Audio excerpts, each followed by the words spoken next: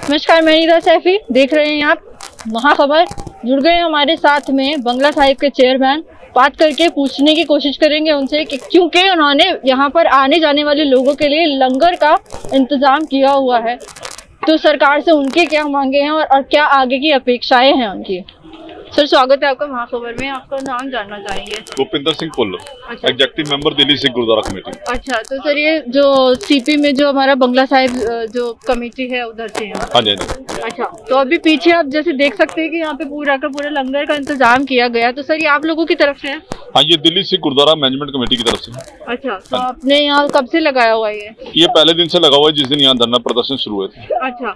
सरकार से आपकी क्या मांगे हैं?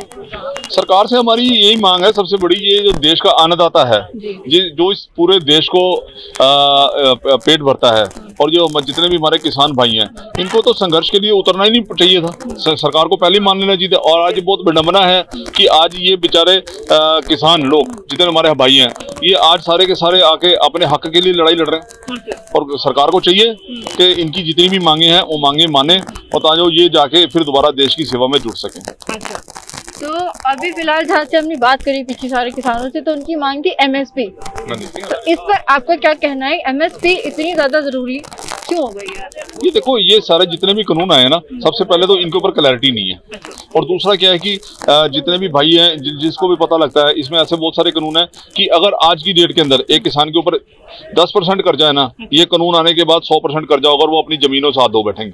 अच्छा। बेसिकली ये कानूनों से जितने भी हमारे किसान भाई हैं किसान भाई हैं इनकी जो जमीनें हैं इनके ऊपर इतना कर्जा ले लिया जाएगा इनको तो पता ही नहीं होगा। जब कंपनियों से कॉन्ट्रैक्ट टूटेगा तब पता लगेगा। वो कंपनी तो अपना लोन लेके चली जाएगी। उसके बाद ये ये जितने भी हमारे बुज़ुर्ग किसान भाई हैं ये कहाँ से वो कर्जा पूरा करेंगे? कॉन्ट्रैक्ट जो है पंद्रह पंद्रह साल के कॉन्ट्रैक्ट हो रहे हैं ये इस तरह के जितने भी इतने इस तरह के जितने भी कानून है ये सारे के सारे वापिस लिए जाने चाहिए। अच्छा तो आप लोगों की मांग ये कि कानून वापस लिए जाने चाहिए इस समय तो अभी जो और, था और जिस जितने भी मंडी बोर्ड है मंडी बोर्ड के जितने भी सिस्टम्स हैं उसके अंदर भी बहुत सुधार होना चाहिए अच्छा। ताकि इनको इनकी अ, फ़सल की पूरी कीमत मिल सके अच्छा। आज इनके पास से अगर आप कोई दस रुपए की चीज़ देते हो मार्केट में दो सौ रुपए की बेची जाती है है। एक सौ नब्बे रुपए का गैप कहाँ जाता है वो वो वो फैसिलिटी इनको क्यों नहीं मिलती मिडिल मैन की जो बात होती है हर बार सरकार इसी को लेकर परेशान रहती है की मिडिल मैन जो है बीच में जिसको बिचौलिया कहते हैं उसका सिस्टम खत्म हो जाएगा।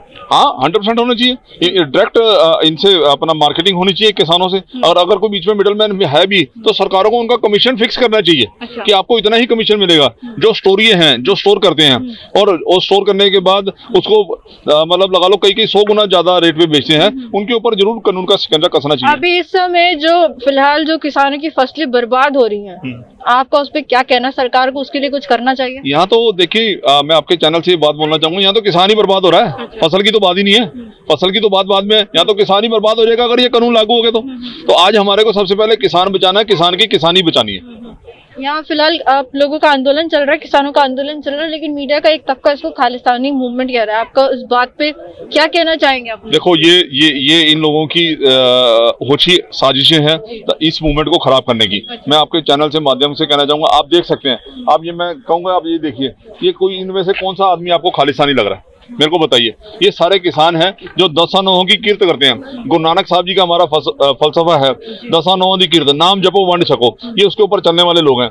ये खालिस्तान की बात करके गुमराह किया जा रहा है ऐसा कुछ भी नहीं है। और कितना शांतमयी तरीके से पिछले आज पांचवा का छठवां दिन है। यहाँ पर चल रहा है आप देख सकते हैं। अगर कल भी क्योंकि वार्ता होने जा रही है किसानों और सरकार के बीच में तो अगर कल भी वार्ता पूरी नहीं हुई या सरकार ने आप लोगों की मांगे पूरी कर दी तो आगे इस आंदोलन का क्या रूप देखो अगर सरकार हमारी ये मांगे, सबकी पूरी कर देती है। तो ये अपना आंदोलन, ये सारे किसान अपने अपने घर जाएँगे खुशी खुशी जाएँगे। और अगर नहीं पूरी होंगी तो ये इसी टाइप ही ये धरना अनिश्चित काल के लिए जारी रहेगा। तो धरना अनिश्चित काल के लिए जारी रहेगा। अगर सरकार ने मांगे, नहीं मानी है तो ये थे हमारे साथ सिख गुरुद्वारा कमेटी के चेयरमैन।